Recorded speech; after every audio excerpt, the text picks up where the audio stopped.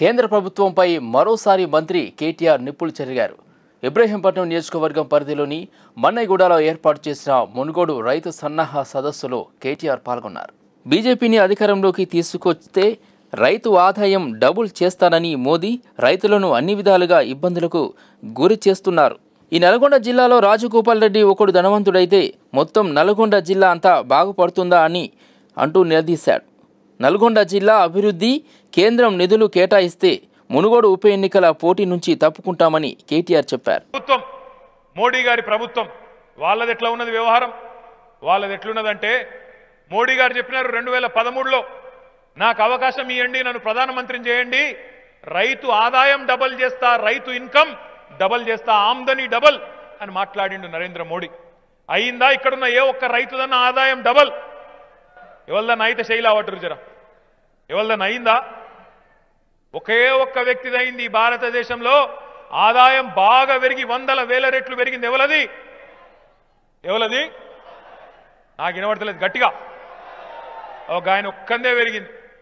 ఈ దేశంలో దేశమంతా బీదరికంలో కొట్లాడుతూ కొట్టుమిట్లాడుతున్నది కానీ ఒక్కడు మాత్రం బాగా బలిసిపోతున్నాడు ప్రపంచంలోనే రెండో స్థానం మొదటో స్థానం మూడో స్థానం అని చెప్పి ఆయన మాత్రం జోరుగొస్తా ఉన్నాయి. ఆయన ధనవంతుడు అయితే పర్వాలేదు. కానీ ఎట్లున్నదంటే గమ్మతు మోడీ ప్రభుత్వం ఏమనుకుంటున్నదంటే ఒకలో ఇద్దరో ధనవంతులైతే దేశ సంపద పెరుగుతుంది. ఈ నల్గొండ జిల్లాలో ఈ రాజగోపాల్ రెడ్డి ఒక్కడు ధనవంతుడు అయితే మొత్తం మొత్తం నల్గొండ జిల్లా అంతా బాగా లాభపడతా అనుకుంటున్నట్టున్నాడు. తెలంగాణలో వ్యవసాయానికి టీఆర్ఎస్ ప్రభుత్వం అధిక ప్రాధాన్యత ఇస్తుందని మంత్రి నిరంజన్ రెడ్డి అన్నారు. రాష్ట్రంలో కరెంటు కోతలు లేవని వ్యవసాయానికి నాణ్యమైన ఉచిత విద్యుత్తును అందజేస్తున్నామని చెప్పారు. ముప్పై లక్షల మోటార్లకు ఫ్రీ కరెంటు అందిస్తూ యాభై లక్షల మందికి పెన్షన్లు అందజేస్తున్న ఘనత సీఎం కేసీఆర్దేనన్నారు. పరిస్థితులను వివరిస్తూ ఓ అద్భుతమైనటువంటి తెలంగాణ భావజాలాన్ని మనం ఆనాడు ఉద్యమ క్రమంలో విస్తరింపజేసినాం. చేసి ఆనాడు మనం చెప్తే కొంతమందికి విశ్వాసం కలగలే. తెలంగాణ రాష్ట్రం వచ్చినాక మేము చాలా గొప్పగా బతికేటువంటి పరిస్థితులు మాకున్నాయి. మాకు ఆదాయం ఉంటుంది రాష్ట్రం పురోగమిస్తుందంటే మనల్ని చిన్నగా చేసి చూసిండ్రు. ఆయల్లో ఉండేటువంటి రెండు వందల పెన్షన్ను ముందు ప్రజలు వాళ్ళ కాళ్ళ మీద నిలబడాలి జనంత వాళ్ళకి ఆసరా కావాలి ముందు బతికి తర్వాత ఏమైనా పని చేసుకొని బతకాలి వాళ్ళకి కనీసం ఇట్లా ఉపశమనం ఉండాలి అని చెప్పి రెండు వందలు ఇచ్చిన పెన్షన్ను వెయ్యి మొదటి ఎన్నికలలో హామీ ఇచ్చి అమలు చేసినాం. రెండో ఎన్నికలు వచ్చే వరకు పద్దెనిమిది ఎన్నికలు వచ్చే వరకు దాన్ని రెండు వేలు చేస్తామని చేసినాం చూపిస్తున్నాం. ఇలా మొత్తం రాష్ట్రంలో యాభై లక్షల కుటుంబాలకు రెండు వేలు మూడు వేల పెన్షన్లను తెలంగాణ రాష్ట్రంలో యాభై లక్షల కుటుంబాల్లో ఇస్తున్నాం మనం. భారతదేశంలో ఏకైక రాష్ట్రం. ఇన్ని పెన్షన్లు ఇంతమందికి ఇచ్చేది. కరెంటు సుమారు ముప్పై లక్షల కరెంటు మోటార్లు ఉన్నాయి రైతుల వేయాల తెలంగాణ రాష్ట్రంలో. మనకి నీళ్ళు ఎన్ని పెరిగితే అంత కరెంటు వినియోగం పెరుగుతుంది ఇంకా. నీళ్ళు ఎంత అందుబాటులోకి వస్తే అంత కరెంటు వినియోగం పెరుగుతుంది. ఇంకా అవసరం పడుతుంది కరెంటు. టీఆర్ఎస్ ప్రభుత్వం గిరిజనుల పాలిట శాపం. పోడు భూములను లాక్కుంటుందని కాంగ్రెస్ ఎంపీ ఉత్తమ్ కుమార్ రెడ్డి విమర్శించారు. టీఆర్ఎస్ పాలనలో ఒక్క గిరిజనుడికి పట్టా ఇచ్చిందా అని ప్రశ్నించారు. మాజీ ఎమ్మెల్సీ రాములు నాయక్ ఆధ్వర్యంలో గాంధీ భవన్లో పోడు భూముల అంశంపై రౌండ్ టేబుల్ సమావేశంలో ఆయన పాల్గొన్నారు. కేసీఆర్ ప్రభుత్వం అక్రమ కేసులు పెట్టి జైలుకు పంపిస్తుందన్నారు. లంబాడీ భాష కూడా మాట్లాడుతారని తన నియోజకవర్గంలో లంబాడీ గిరిజన సంక్షేమం కోసం పనిచేయడం జరిగిందని చెప్పుకొచ్చారు. ప్రతి తాండా గూడాలలో సీసీ రోడ్ల నిర్మాణం చేశారన్నారు. కానీ ప్రస్తుతం టీఆర్ఎస్ పాలనలో తాండాలు ఆగమయ్యాయని ఉత్తమ్ విమర్శించారు. గిరిజన గ్రామాలకు నిధులు నీళ్ళు కల్పించడంలో కేసీఆర్ ఫెయిల్ అయ్యారని దుయ్యబట్టారు. గిరిజన సంఘాలు రాజకీయాలకు అతీతంగా చాలామంది గిరిజన పెద్దలు సమావేశం నిర్వహించుకొని నన్ను ఆహ్వానించడం జరిగింది. నేను కొన్ని విషయాలు వాళ్ళకి తెలియజేశాను. ఒకటి ఇక్కడ కేసీఆర్ టీఆర్ఎస్ ప్రభుత్వం అక్కడ ఢిల్లీలో నరేంద్ర మోదీ బీజేపీ నిరంతరంగా ఈ భారతదేశంలో గిరిజనులని మోసం చేస్తున్నాయి. పోడు భూముల విషయంలో మోసం చేస్తున్నాయి. రిజర్వేషన్ విషయంలో ఎనిమిదిన్నర ఏళ్ళ తర్వాత ఇచ్చిండ్రు. ఆ నాలుగు పర్సెంట్ గ్యాప్ అయితే ఉందో ఈ ఎనిమిదేళ్ళకి వీళ్ళకి రావాల్సింది ఆ బ్యాక్లాగు గవర్నమెంట్ పోస్టులు విద్యా అవకాశాలు కల్పించాలని చెప్పి డిమాండ్ చేస్తున్నాము. కొత్తగా ఏర్పడిన ఏర్పాటు చేసిన గిరిజన గ్రామ పంచాయతీలకి ఏమీ ఇన్ఫ్రాస్ట్రక్చర్ లేదు. గెలిచిన గిరిజన గ్రామ పంచాయతీలో కొత్త సర్పంచులు చెట్ల కింద ఇంట్లకాడ కూర్చొని గ్రామ ఉప ఎన్నికలు వస్తే టీఆర్ఎస్ భయపడుతుందని బీజేపీ రాజ్యసభ సభ్యుడు లక్ష్మణ్ ఆరోపించారు. మునుగోడులో ఉప ఎన్నిక సీఎం కేసీఆర్ అహంకారానికి ప్రజలు ఆత్మ గౌరవానికి మధ్య జరుగుతుందన్నారు. కుల వృత్తులపై ఆధారపడిన బీసీల ఫెడరేషన్ కార్పొరేషన్ నిధులు ఎందుకు ఇవ్వడం లేదని లక్ష్మణ్ ప్రశ్నించారు. వెలువడడంతో ప్రజా వ్యతిరేకత స్పష్టంగా తెలంగాణ వ్యాప్తంగా మరి ఎన్నికల ద్వారా స్పష్టం చేయడంతో ఈ ఉప ఎన్నికలంటేనే దడుచుకుంటున్నది. ఈ ఉప ఎన్నికల ద్వారా తెలంగాణ రాష్ట్ర సాధనకు ఊపిరిపోసినటువంటి ఆ ప్రక్రియ ఇవాళ అదే ఉప ఎన్నికలు ఇవాళ టీఆర్ఎస్ గుండెల్లో రైలు పరిగెట్టిస్తున్నాయి. అనేక రకాలైన భాష్యాలు చెప్పి తప్పించుకునే ప్రయత్నాలు చేసిన ఇవాళ మీరు మునుగోడులో ఇంత పెద్ద ఎత్తున మంత్రులు మకాం వేయాల్సిన అవసరం ఏమిటి ఎనభై ఆరు మంది ఎమ్మెల్యేలు అక్కడే మరి కులాల వారీగా గ్రామాల వారీగా ఓటర్లను పంచుకొని డబ్బులు వెదజల్లుతూ మద్యాన్ని ప్రవహింపజేస్తూ ప్రజా అభిప్రాయాన్ని మరి కూడగట్టుకునేటువంటి కుట్రలు చేస్తూ ఉంటే ప్రజలు తిప్పికొడుతున్నారు. అందుకని ఇవాళ మునుగోడు తీర్పు ఇది తెలంగాణ ప్రజల ఆత్మ గౌరవానికి ఈ యొక్క టీఆర్ఎస్ కుటుంబం యొక్క అహంకారానికి మధ్య జరుగుతున్న పోరు కాబట్టి తెలంగాణ ప్రజలు ముఖ్యంగా మునుగోడు ప్రజలు ఆత్మగౌరవాన్ని కాపాడడానికి స్పష్టంగా బీజేపీని గెలిపించి రాజగోపాల్ రెడ్డి గారిని తిరిగి ఎన్నిక చేస్తారని చెప్పి నేను భావిస్తా ఉన్నాను. టీఆర్ఎస్ పని అయిపోయిందని అందుకే బీఆర్ఎస్ పేరుతో రాజకీయాలు చేస్తున్నారని మంత్రి కిషన్ రెడ్డి విమర్శించారు. మునుగోడులో ఓడిపోతామని తెలిసి టీఆర్ఎస్ కొత్త నాటకాలు మొదలుపెట్టిందన్నారు. ప్రజలు మార్పు కోరుకుంటున్నారని మాయ మాటలు మాటలతో టీఆర్ఎస్ గెలవలేదన్నారు. మునుగోడు ఉప ఎన్నిక టీఆర్ఎస్కు చివరి ఎన్నిక అవుతుందని కిషన్ రెడ్డి జోష్యం చెప్పారు. ఈ యొక్క శాసనసభ ఎన్నికల తర్వాత మీరు దత్త తీసుకోవాల్సింది మీ ఫామ్ హౌసే తప్ప ఫామ్ హౌసే మీరు దత్త తీసుకోవాలి తప్ప మీరు మునుగోడు గాను తెలంగాణ గాను రాజగోపాల్ రెడ్డి దెబ్బకు రాజగోపాల్ రెడ్డి సత్తాకు మునుగోడు ప్రజల సత్తాకు ఈరోజు కేసీఆర్ తెలంగాణ ప్రజా సమితి అని పేరే మార్చేసి ఎటువంటి దెబ్బ అయ్యా అంటే తెలంగాణ ప్రజా సమితి అని పేరు మార్చారు. ఆయన పెట్టాడు ఈరోజు బీఆర్ఎస్. బీఆర్ఎస్కు టిఆర్ఎస్కు బీఆర్ఎస్ ఇచ్చేశాడు ఇంకా ఈ టిఆర్ఎస్ లేదు. కానీ రేపు జరిగేటువంటి ఎన్నికల్లో తెలంగాణ ప్రజలు మీ బీఆర్ఎస్ కూడా రిజర్వ్ బీఆర్ఎస్ ఇప్పిస్తారు తెలంగాణ ప్రజలు. టీబీని అంతం చేయడానికి సమాజంలోని అన్ని వర్గాలు కృషి చేయాలని గవర్నర్ తమిళసై పిలుపునిచ్చారు. ఆ బాధ్యత టీబీ అసోసియేషన్ ఆఫ్ తెలంగాణపై మరింత ఎక్కువ ఉందన్నారు. రెండు వేల ఇరవై ఐదు కల్లా మన దేశాన్ని టీబీ ముక్త్ భారత్గా చేయాలన్నారు. వంద మంది పేద టీబీ రోగులను దత్తత తీసుకుంటున్నట్లు గవర్నర్ తమిళసాయి ప్రకటించారు. విచక్షణ గ్రాంట్ల నుంచి పదిహేను వేలు విడుదల చేస్తున్నట్లు చెప్పారు. వాళ్ళకు ఆరు నెలలు న్యూట్రిషన్ ఫుడ్ ఇస్తామని అన్నారు. రాష్ట్రంలో ఇరవై ఎనిమిది వేల మంది టీబీ రోగులున్నారని ఇరవై ఐదు వేల మంది దత్తత తీసుకోవాలన్నది తమ ఆకాంక్ష అని తమిళసాయి అన్నారు. మరికొంతమందిని దత్తత తీసుకునేందుకు స్వచ్ఛందంగా ఎవరైనా ముందుకు రావాలని ఆమె పిలుపునిచ్చారు. ఈ సందర్భంగా రాజ్భవన్ ఉద్యోగులు అధికారులు మరో పది మందిని దత్తత తీసుకున్నారు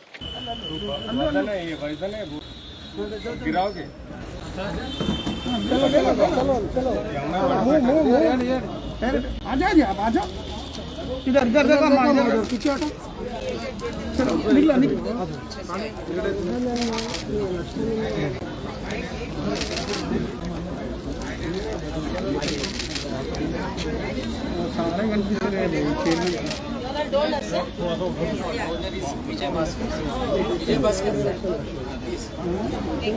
సార్ eh?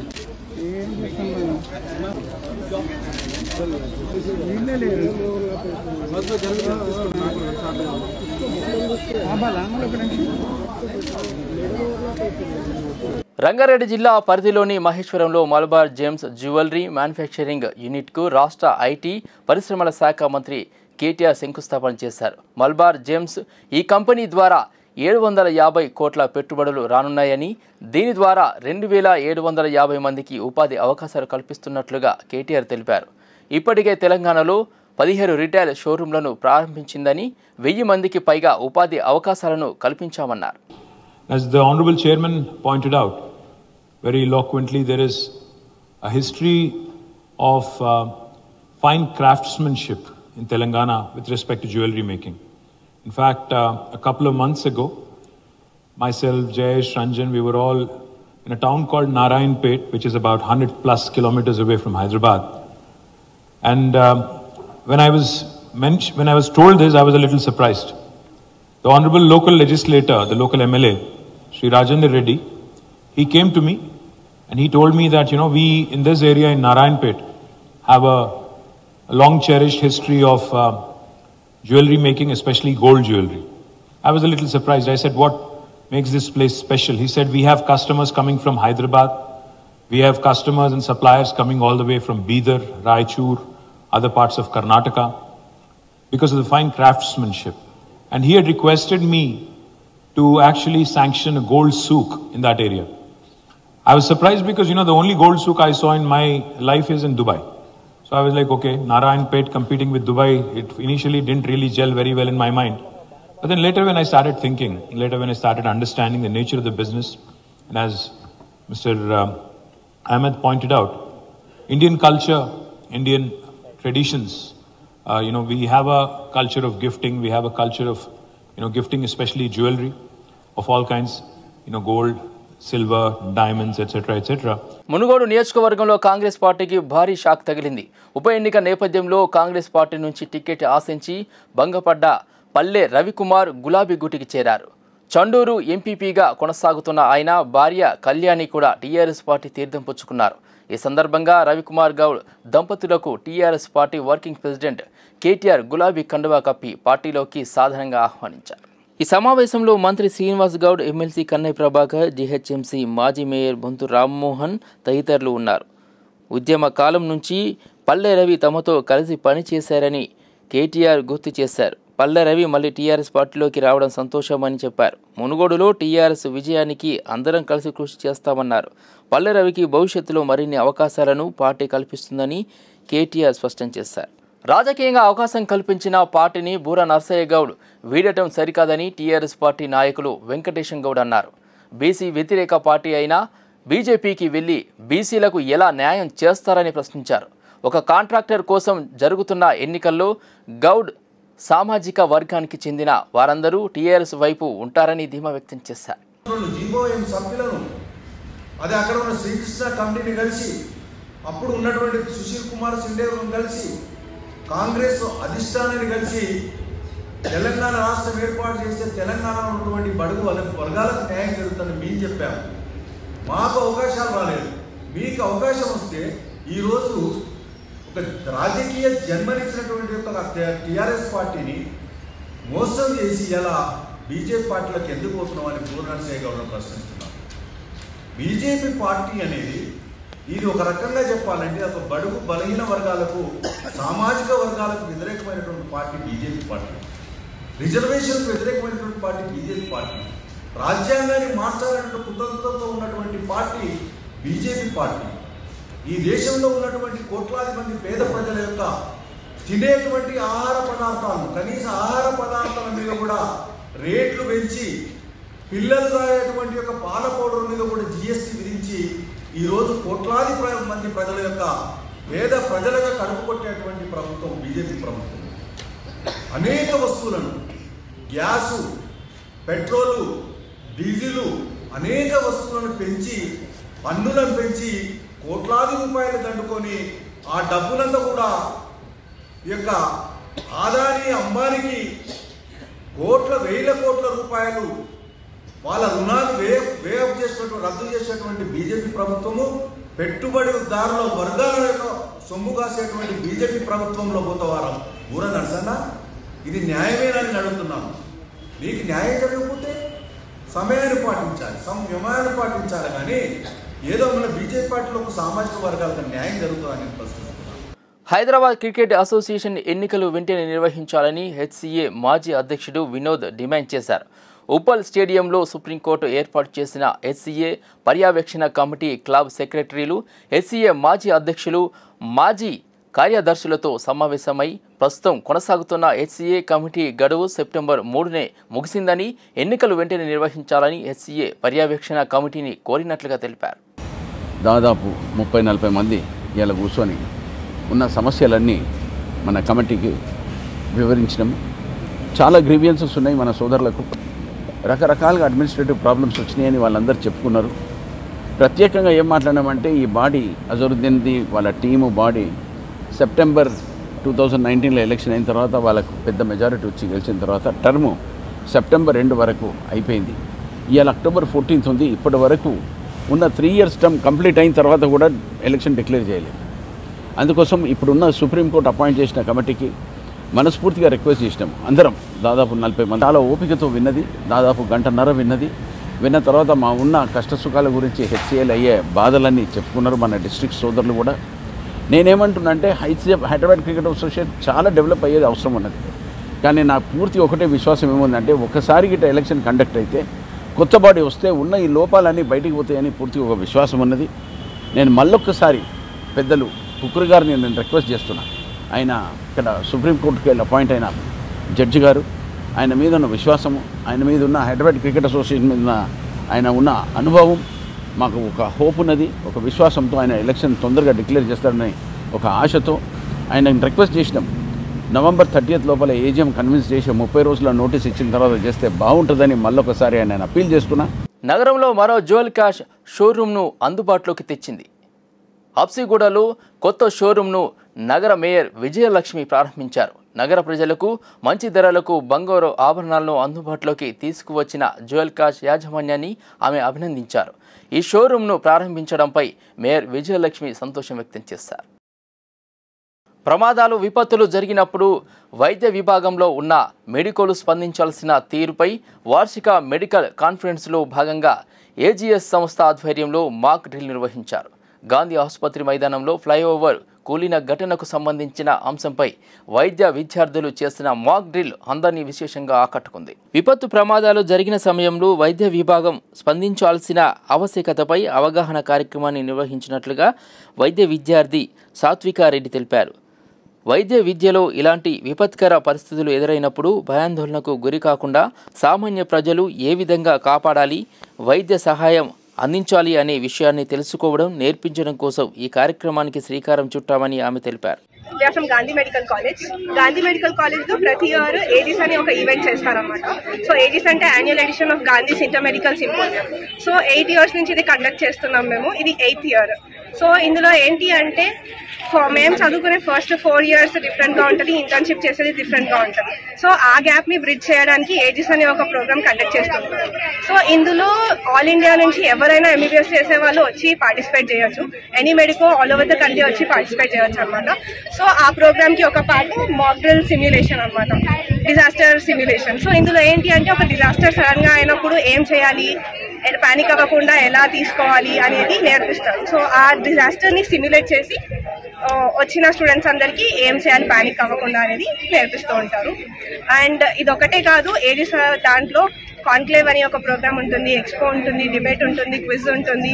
సో అందరి మెడికోస్ అందరికీ ఇట్ ఇస్ వెరీ యూస్ఫుల్ అనమాట ఇది ఏజెస్ గురించి.